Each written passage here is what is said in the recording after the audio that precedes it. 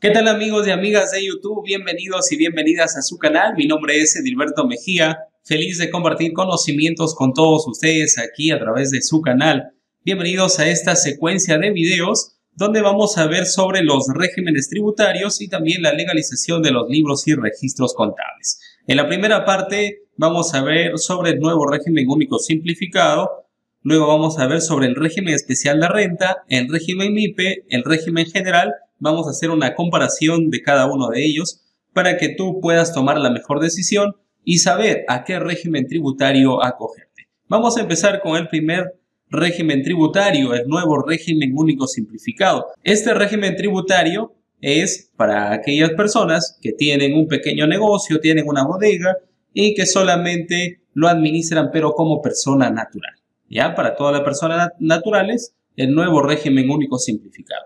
Existe categorías como las que podemos ver aquí. La categoría número uno, si tus ingresos no superan los 5 mil soles o tus compras no superan los 5 mil soles, en cada uno de los meses solamente estarías pagando un importe mensual a la, SUNAT de 20 soles.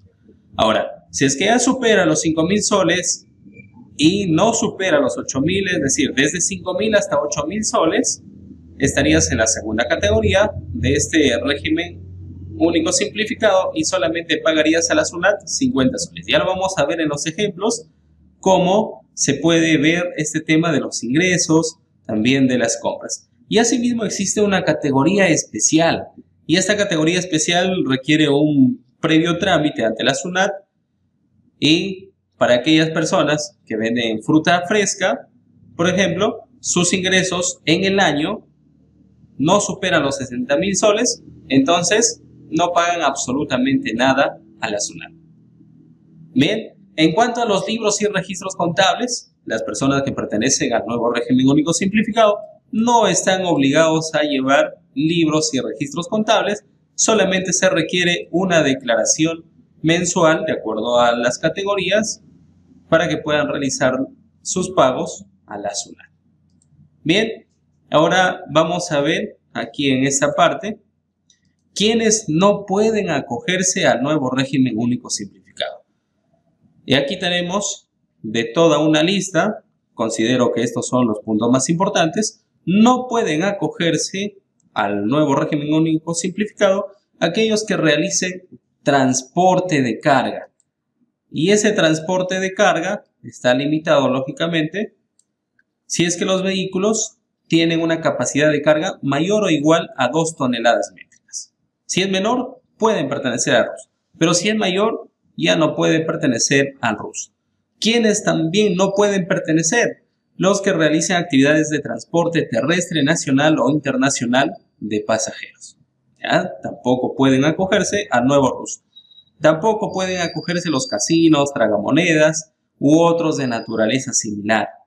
Tampoco pueden acogerse aquellos que realicen actividades que están grabadas con el impuesto selectivo al consumo, como por ejemplo la cerveza está grabado con el impuesto selectivo al consumo, los cigarrillos, aquellos vehículos que se compran del extranjero también está grabado con el impuesto selectivo al consumo y este impuesto selectivo al consumo tiene la finalidad de regular el consumo de ciertos productos. Es por eso que a esos productos se le agrega un impuesto selectivo al consumo con el fin de incrementar su precio.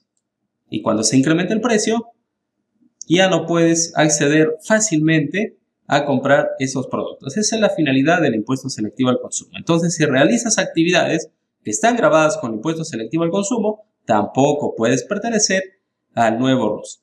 ¿Quiénes más? Las agencias de viaje, propaganda, publicidad, tampoco pertenecen al nuevo RUS. Operaciones afectas al impuesto a la venta de arroz pilado, tampoco pertenece al nuevo RUS. Y aquí vamos a ver un tema importante que me han realizado muchas consultas respecto al número de trabajadores. ¿Cuántos trabajadores puedo tener en el nuevo RUS? La normativa no te indica un límite de trabajadores que puedas tener, así que tú puedes tener uno, dos, los, no, el número de trabajadores que creas por conveniente en el nuevo régimen único simplificado. Pero considera siempre esto, ¿no? La lógica. Si tus ingresos son hasta 8 mil soles mensuales y vas a tener uno, dos o tres trabajadores a los que les vas a pagar el sueldo mínimo, entonces prácticamente y de forma numérica ya no sería correcto, ¿cierto? Tener tres trabajadores, por ejemplo, a 1200 son 3600. Y adicional a ello tienes que considerar que vas a obtener ganancias, que vas a obtener ingresos, porque ese es el objetivo de realizar actividad empresarial. Y si tienes tres trabajadores que se llevan 3.600, ¿dónde están las ganancias? Y ahora sí, vamos a ver aquí un pequeño caso práctico. Vamos a considerar lo siguiente. Vamos a considerar lo siguiente. Esto es lo común que ocurre. Tenemos una fecha de inscripción en la SUNAT. Bien, esta fecha de inscripción vamos a considerar que es hoy 19 de mayo de 2022. Ya tenemos la fecha de inscripción. Ahora, a esta fecha de inscripción tenemos otra fecha que se llama fecha de inicio de actividades.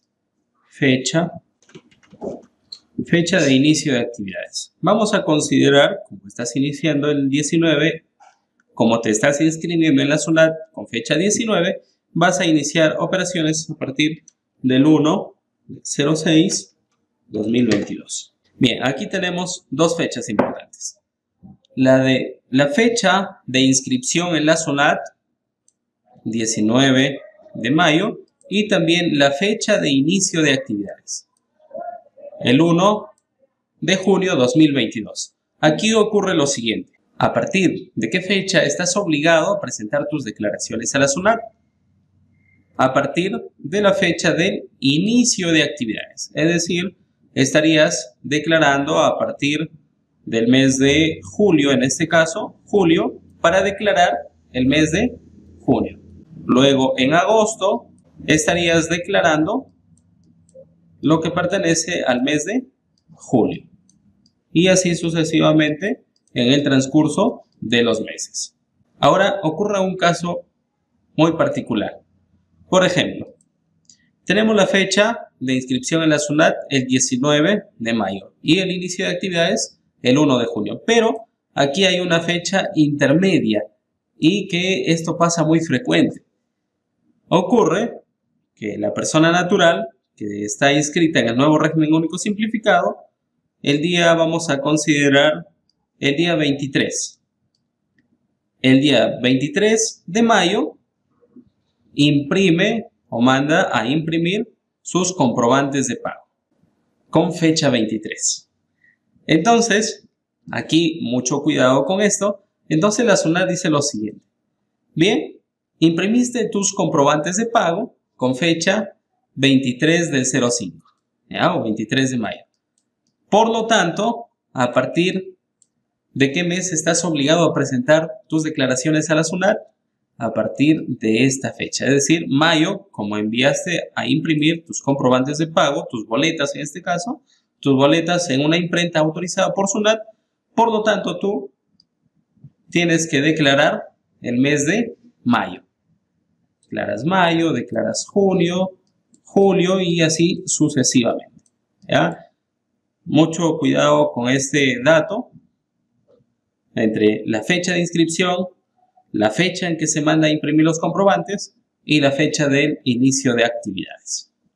Bien, ahora sí vamos a explicar en cuanto a lo que corresponde a los ingresos y a las compras. Vamos a considerar aquí ventas o ingresos y debajo compras. Aquí también ocurre un caso bastante particular.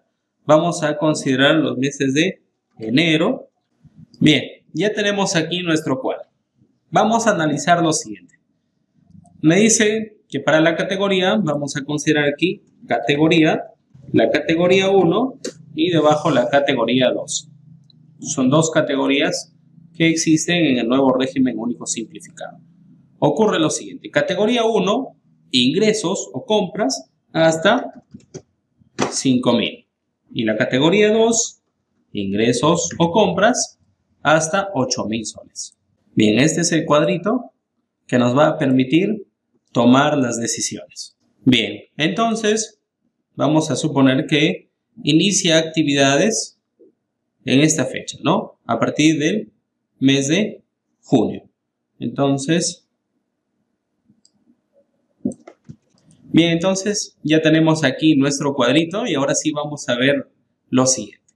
Nos indica que la primera categoría son los ingresos o compras hasta 5 mil soles. La categoría número 2, ingresos o compras hasta 8 mil soles. Vamos a suponer que en el mes de junio tiene ventas por 3.500 y las compras por 2.500.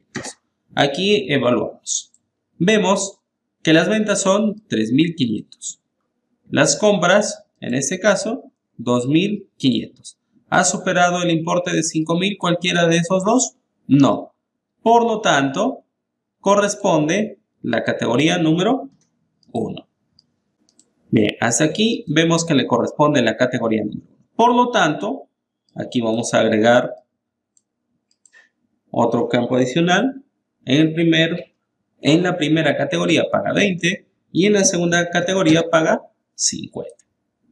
Bien, entonces, como no ha superado ningún importe ni de compras ni de ventas, por lo tanto pagaría 20 soles a la suma. Bien, vamos a ver en el mes de julio. En el mes de julio ocurre lo siguiente. Tiene ventas 4.999 y tiene compras por 4.500. En ese caso, también ocurre lo siguiente. ¿Las ventas superan los 5 mil soles? No, no ha superado el importe de 5 mil soles. ¿Las compras superan el importe de los 5 mil soles? No ha superado los 5 mil soles, como podemos ver. Por lo tanto, la categoría que le corresponde es la categoría número 1. Bien, entonces, también consideramos la categoría número 1, por lo tanto, tiene que pagar 20 soles a la zona. Ahora sí, vamos a hacer lo siguiente. Aquí en el mes de agosto, como ya está siendo más conocido en el mercado, tiene ventas por 6.200 y compras por 3.800. Y evaluamos nuevamente y decimos lo siguiente. ¿Las ventas superó el importe de los 5.000 soles? La respuesta es sí, sí superó los 5.000 soles. Por lo tanto, automáticamente pasa a la categoría número 2, aunque las compras no hayan superado el importe de 5 mil soles. Entonces, basta que uno de los importes, ya sean los ingresos o las compras, supere los 5 mil soles, entonces automáticamente pasa a la categoría número 2. Y en la categoría número 2 paga, aquí lo podemos ver, 50 soles. Bien, ya pasó a la categoría número 2. Luego, en el mes de septiembre, nuevamente baja un poco las ventas y tiene ventas de 3.500 y tiene compras de 4.200. Tiene más compras que ventas. Nuevamente analizamos. Las compras son 4.200. ¿Ha superado los 5.000 soles? No, no ha superado. ¿Las ventas ha superado el importe de 5 mil soles? No ha superado. Y la pregunta es, ¿cuál categoría le corresponde? Y la respuesta en este caso le corresponde la categoría número 2. Esta es la categoría que le corresponde, pese a que en un periodo, periodo hablamos desde el mes de enero hasta el mes de diciembre, suficiente que en uno de los meses, como en este caso, el mes de agosto, como podemos ver, superó las ventas los 5 mil soles. Automáticamente pasó a la categoría número 2. A partir del mes de agosto hasta el mes de diciembre, todos los meses va a estar en la categoría número 2, ¿ya? Porque superó el importe de los 5 mil soles. Y pese a que los otros meses no supere los 5.000 soles, la categoría que le corresponde es, la categoría número 2. Bien, entonces agregamos la categoría número 2 y el importe que tiene que pagar es 50 soles. En el mes de octubre se fue de vacaciones, no vendió nada ventas cero, compras cero. Y la pregunta es, en el mes de octubre, ¿cuánto tiene que pagarle a la SUNAT? Ojo, no ha hecho ninguna suspensión de actividades ni nada. Simplemente dejó que transcurra el mes, no tuvo ninguna venta, ninguna compra. Entonces, aquí podemos ver que en el mes de agosto pasó a la categoría 2. En el mes de septiembre pagó también la categoría 2 pese a que no superó los importes de 5 mil soles. Por lo tanto, en el mes de octubre, si no obtuvo ventas ni compras, también le corresponde la categoría 2. ¿Por qué? Porque el nuevo régimen único simplificado utiliza esta palabra, hasta. Hasta. Hasta 5.000 soles, categoría 1, hasta 8.000 soles, categoría 2. Y el hasta significa que va desde 0 hasta el límite, que en este caso puede ser 5.000 u 8.000 soles.